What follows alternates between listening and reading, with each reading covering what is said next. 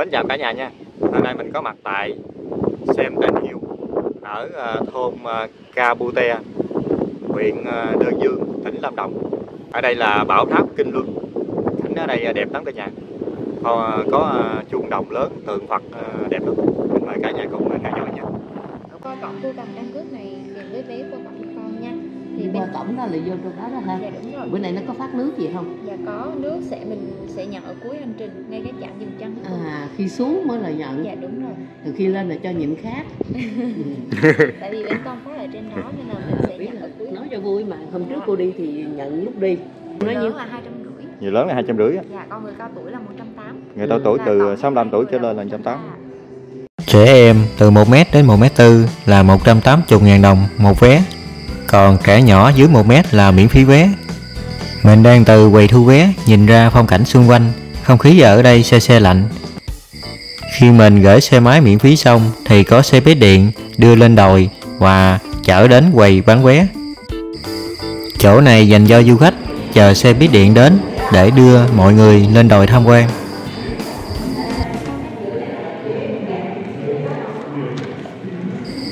Giờ thì mọi người đã lên xe để lên đồi tham quan. Sam Tân Hill Đà Lạt nằm trên những ngọn đồi cao nhất ở Đơn Dương, cao 1.000m so với mực nước biển. Do đó, vào buổi sáng trời khô ráo, cả nhà có thể được ngắm nhìn những tia nắng đầu tiên của ngày mới, cùng biển mây trắng bồng bềnh. Vẻ đẹp trong trẻo của thiên nhiên trên mảnh đất linh thiêng hứa hẹn sẽ mang đến niềm an nhiên trong tâm hồn cho bất cứ ai đến với Sam Hill Đà Lạt.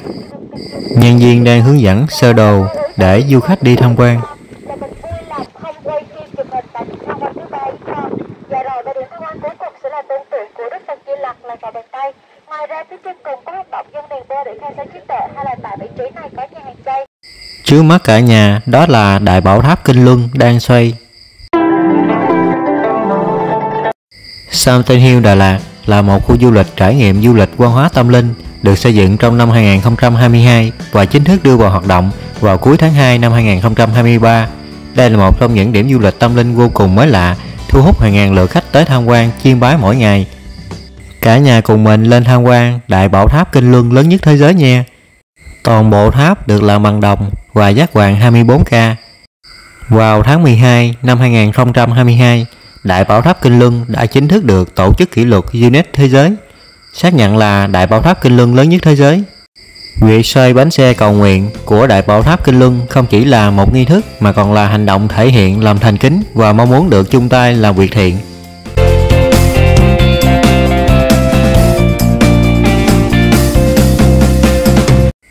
Đây là nơi kết hợp hài hòa của một mô hình du lịch sinh thái kết hợp với tâm linh. Mục đích là để tạo ra sự cân bằng và mang lại cảm giác yên bình trong mỗi con người.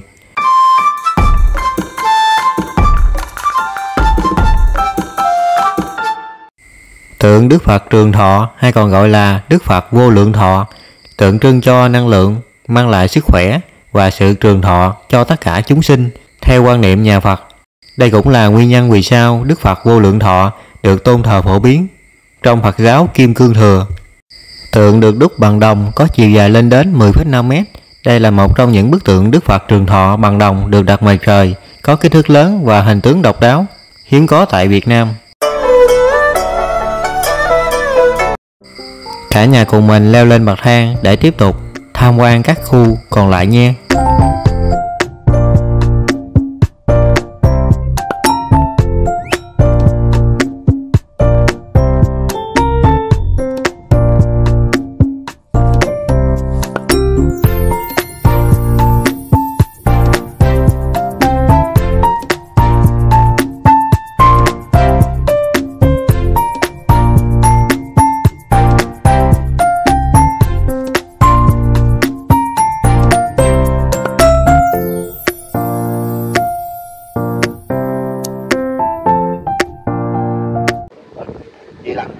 Đức Phật Di Lặc Đức Phật tương lai. Trong Đức Phật này có tên gọi là Majaya Majaya là tình yêu thương sự thân thiện. À, trong văn hóa Phật giáo Kim Cương Thường này là vị Phật thứ năm. Đức Phật cuối cùng sẽ xuất hiện trên thế gian này để Quá niệm Đức Phật Ca Mâu Ni Đà. Tại sắp thân Hill Đà Lạt tôn tượng cao 10,5 mét bên trong được làm bằng đồng tinh khiết bên ngoài được sơn nhổ bạc? Bên trong những thần tượng thể hiện chỉ nhiều vật phẩm khác thường này cái đây mình có thể nhìn lên phía trên của Đức Phật để thế sau đó mới đi xung quanh ngài tỏ lòng thành kính với cả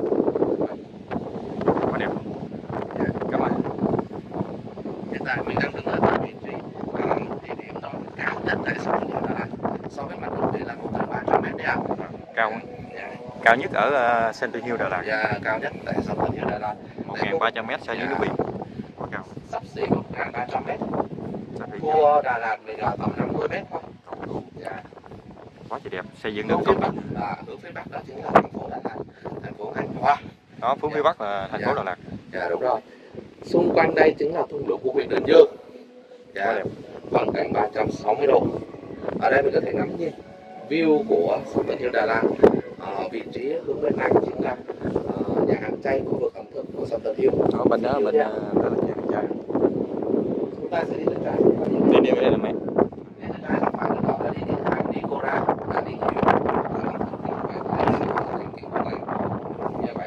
sẽ ngôi nhà bảo cao ở bên dưới đó chính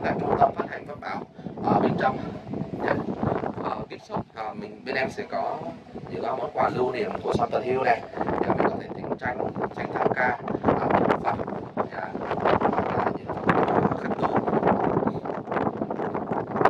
cảnh quá đẹp xây dựng công trình rất là dạ vâng ạ cái này là mình uh, chủ đầu tư là là Việt Nam là dạ ở Việt Nam hết ạ mua phần lại tái hiện lại kiến trúc tái hiện lại không gian của Phật giáo Kiên Bình Thừa dòng truyền thừa của Đinh Cung Thoa Du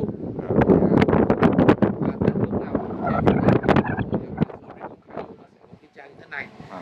dạ bên đó mình chuẩn bị xây ờ, thêm ờ, kho tượng ờ, Gió quá hướng dẫn viên nói không nghe rõ nên mình nói lại cho cả nhà nghe nha. Đức Phật Di Lặc trong tiếng Phạn là Maitreya, có nghĩa là tình yêu thương và sự thân thiện. Trong truyền thuyết Phật giáo Kim Cương Thừa, Đức Phật Di Lặc được xem là hiện thân của sự giác ngộ, luôn sẵn sàng hóa thân để dìu dắt chúng sinh thoát khỏi khổ đau và đạt đến giác ngộ. Tượng Đức Phật Di Lặc tại Samton Hill Đà Lạt được kiến tạo với hình tượng chuẩn mực của Phật giáo Kim Cương Thừa. Bức tượng của Ngài được chế tác bằng đồng tinh khiết với chiều cao lên đến 10,5 mét, nằm ở hướng đông. Mỗi khi tia nắng ấm của mặt trời trải dài rực rỡ khắp đơn dương và chiếu gọi qua tượng Đức Phật Di Lặc, cả nhà sẽ cảm nhận được năng lượng tích cực và niềm hy vọng về tương lai.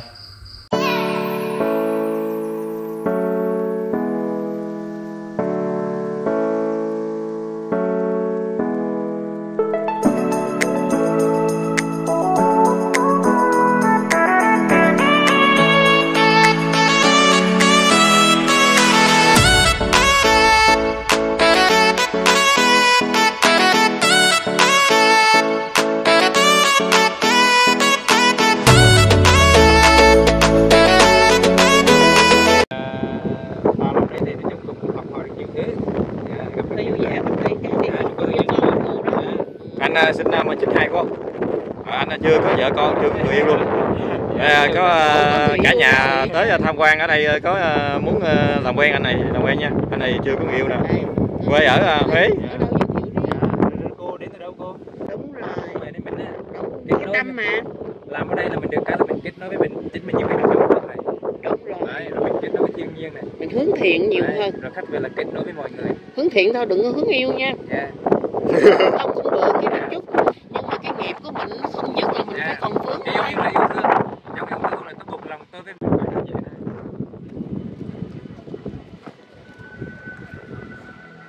Dạ đây là tôn tượng à, tôn tượng Đức Phật à, Trường Thọ hết. Và đây là đài bảo tháp Kiên Luân lớn nhất thế giới với chiều cao là 37,22 m, đường kính 16,53 m, nặng 200 tấn. Và Luân được cấu tạo bên trong được làm bằng đồng tinh khiết và bên ngoài được giác toàn bộ vàng 24K. À, và một điều đặc biệt là Kiên Luân là xoay theo cơ chế thủ công hoàn toàn bằng sức người, không hề có bất kỳ động cơ hay thiết bị máy móc nào. à, Dạ, nên là mỗi thành viên, các quý khách sẽ cùng chung tay góp sức chạm tay lên kinh luân và đẩy kinh luân theo chiều kim đồng hồ từ trái sang phải tuân theo tự nhiên, tuân theo nhịp sinh học cơ thể. Đó. Và, và mình sẽ đi tối thiểu một vòng, đi càng nhiều càng tốt tùy theo thời gian và sức khỏe. Và trong vòng 3 đến 5 phút mà nếu không có lực tác động thì kinh luân sẽ là đứng yên, à, chuyển Dạ. động bằng sức người á. Dạ. Thì cái lực uh, ma sát thì kinh luân sẽ giảm dần đều nên mà khi mà có người tác động á, thì cái lung mới chuyển động chứ ừ. không có máy móc gì cả. Gió thổi cũng ừ. dạ, gió thổi đều quay không nổi dạ, gió thổi cũng không nổi. Bên tên là tám đầu rồng vòi voi là từ quá đẹp. luôn người làm gì nhà có tiếng lân tám đầu ờ, rồng. Ờ, đầu voi tám đầu voi. Đây là từ phương thì nó chịu giá tiếng lân thì tại sông hiêu thì có là đài bảo đảm tiếng lân mới được giảm khoan từ phương là sử dụng vào hết á dạ. cái đó thành là giác bạc giác bạc của đất nam mà khác nhau này. À. Nó nắng ánh lên bạc bạc hơn dạ đây còn đây là sơn, sơn nhỏ bạn. Khác thì dạ. Nắng chiếu vô nổi nổi lên màu màu bạc gì đó